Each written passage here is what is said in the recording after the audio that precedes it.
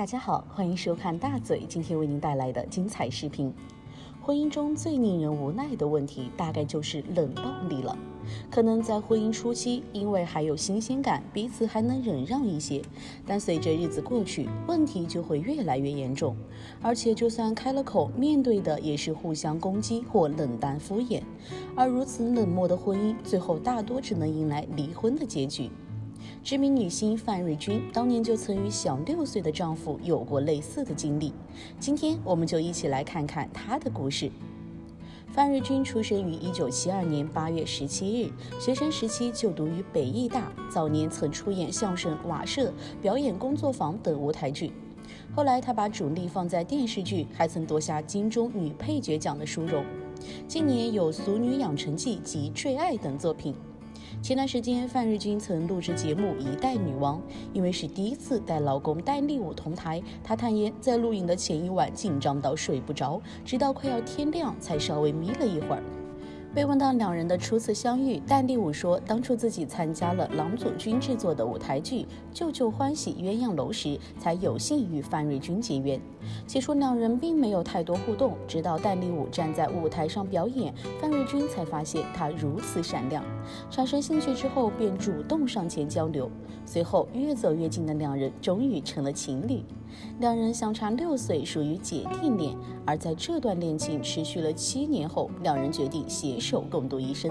到了二零零八年，两人走入了婚姻的殿堂。婚后，范瑞君陆续生下两个女儿，在许多人看来，一家四口生活的幸福美满。而在节目上，范瑞君却控诉老公在家常常很冷淡，有点类似冷暴力，而且他从不动口，也不会动手，但就是不讲话，而且总是甩一副臭脸色，与他想象中的家庭生活相差甚远。她还回忆到，有一次冲到门口，笑脸盈盈的迎接老公归来，却被对方以“笑什么笑”带过，热脸贴冷屁股的经历让她很受伤。对于这件事，戴立武认为家中是最安全也是最舒服的堡垒，可以完全做自己，还说回家就没必要继续跟谁陪笑脸了。虽然听起来很有道理，但范瑞君还是觉得两人是要相处几十年的人，互动却如此少，这并不合理。他不禁感慨道：“我们要在一起一辈子，他给你的笑脸却最少。”想到这里，更是忍不住哭了出来。而主持人钟欣凌也坦言，其实自己在家也是脸很臭，会觉得在外面已经讲话讲得烧声了，为什么回家还要讲话？但因为范瑞君开始让他反省这样的想法。其实艺人们在工作时间要随时保持最佳状态，不能透露任何一点私人情绪。回家后自然会想放松，回归平静。但若是伴侣为此感到伤心，那就得在互相沟通，然后配合，否则对任何一方来说都很辛苦。除此之外，身为好友的钟欣凌还爆料，有次跟范瑞君一起喝下午茶，前一刻范瑞君还指着他大啦啦说话，但接到老公电话后，声音立刻变得甜美，而且脸上还出现她从未看过的甜美肌肉线条。此言让范瑞君顿时脸红。而被问到老公哪个地方吸引她，她则娇羞地说：“就很迷人，这种感觉说不出来。”当戴立武被问到何时发现范瑞君对他有好感，他则笑说一直都有感觉，让范瑞君更是害羞到了极点。范瑞君还说，因为自己是独生女，又是爸妈哄着，所以她理想中的婚姻就是希望自己小鸟依人，家里一切都听老公的。没想到结婚后真的以老公为天，老公回家或出门，她一定在门口迎接欢送。然而在录制现场提到这件事时，对方却说那是一种干扰。戴立武说，尤其是范瑞君送他出门时，隔着玻璃门一直看着他，但电梯又一直不来，让他既尴尬又焦虑，只能挥手让他快关门。而这番话也让全场瞬间笑翻。他还说，之所以如此，是因为范瑞君很黏他，就连他坐在沙发上起身要去上厕所时，范瑞君看他起来也会马上就贴心地问他要干嘛。更夸张的是，半夜要起来上厕所，他特地轻手轻脚起身，没想到还是惊动范瑞军，立刻开口问他要干嘛，让他当场吓到。他表示，老婆可以说是随时随地都在关心自己。当被问到会不会觉得爱到有点窒息时，他也完全不给老婆面子，直说也不会，就是有点多。此外，范瑞军还提到，有次她跟老公在开车，结果路上遇到三宝，当下超级激动的她吼老公不要让对方过。不过负责开车的老公却一派冷静地说：“那么激动干什么？”没想到老公这句话当场让她的理智断线，直接脱口说出：“在家里忍的还不够吗？在外面无论如何都不要忍。”结果同车的夫妻俩瞬间陷入一片静默。内心默默冒汗的戴立武则反问他：“你在家里忍什么？”让他听完瞬间爆笑。不过他们夫妻俩在一阵大笑后，可能一触即发的抱怨跟冲突也跟着消失了。除此之外，两人照顾女儿的方式也不相同。戴立武是个细腻的人，知道要外出工作五天，就会先在冰箱准备一个礼拜的水果，每天提醒女儿要吃，而这让范瑞军觉得很烦。他解释说，小时候吃早餐，妈妈只会准备牛奶配果酱吐司，但老公是非常重视的一个人，每天的早餐还会变换花样，让她光听就觉得很累，最后干脆让老公全权处理。如今已经四十九岁的范瑞君，过去在本土剧《春天后母心》和台湾《龙卷风》中的演出让人印象深刻。然而这十年，他把所有时间都投入舞台剧。今年因疫情关系，有三十一场舞台剧表演取消。因缘际会，他加入了明视八点档《黄金岁月》。他说自己演出舞台剧从没间断，却常有路人以为他退出演艺圈，问他戏演得很好，为何这么久没演戏了？让他一度哭笑不得。也因此而感慨，舞台剧还是太小众了。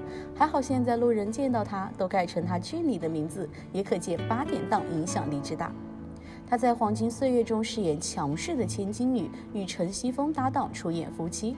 而陈西峰这次则挑战饰演医生，造型上也与以往不同，不止头发特地用了白发丝，还戴起了眼镜，看起来相当专业稳重。而剧中的范瑞君，除了想掌控女儿谢金颖的人生外，还要老公陈西峰硬起来，跟他的堂弟争夺医院院长的头衔，是名副其实的控制狂。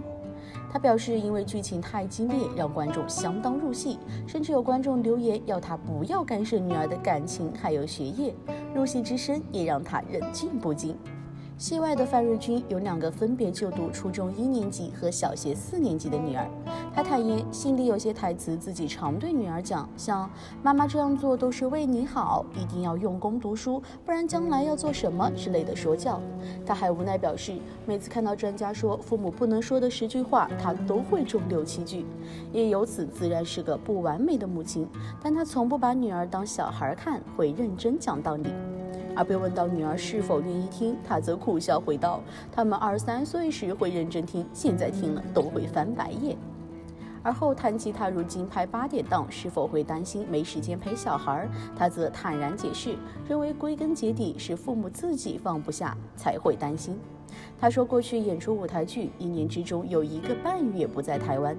第一次离孩子太远，心里会非常难过，觉得小孩会很想他。当时半夜睡觉还会惊醒，想替宝宝盖被子。后来才发现自己已经身处异乡。然而，小孩适应力强，加上老公的悉心照顾，让她能够全心工作，无后顾之忧。此外，她算是个贯彻“君子不器”概念的演员。她出身表演科班，也得过奖，演技备受肯定。许多舞台剧演员不愿意接本土剧，但她并非如此。她说：“真正的表演可俗可雅，要懂得观众要的是什么，永远不要轻视别人努力做的事儿。”还顺带提及从小爱表演的事情。小时候，妈妈周末都会带他去看电影，那部电影就会成为自己之后一两周的养分。他会幻想自己是里面的角色，过那种生活。有时不满意情节，还会改编故事。此外，从去年开始，因为疫情，有许多舞台剧演出因疫情延到或停摆。但他是个闲不下来的人，索性趁空进修，先后拿到红酒、韩国烘焙蜡烛等专业证书，还自己动手做木工，曾花了三个星期做出一张八人餐桌，足可见多才多艺的一面，连老公都佩服他的学习能力。而如今，除了八点档，他的剧场工作也没停，仍在努力排练范少勋导演、侯彦希、郎祖君参演的舞台剧《魔法阿妈》。如今剧院不需再实施梅花座，相信也会让票房跟着冲刺佳绩。不过，他也感叹疫情期间各行各业都很辛苦，这得来不易的好消息相当振奋人心。其实看过范瑞军的演艺经历，不难看出他是一个拥有艺术家心态的人，对待每一部戏和每一件事情都尽职尽责地做到最好。也正是由于这种难得的演艺精神，才让他拥有高超的演技。希望他能继续将这份心态保持下去，也希望他在影视行业继续发光发热。好了，今天的视频就分享到这里了，欢迎大家在评论区留言，告诉我你最喜欢的明星，说不定下次视频就是他了。同时可以关注一下大嘴的 Facebook“ 大嘴鱼记”，更多精彩资讯尽在“大嘴鱼记”，敬请关注哦。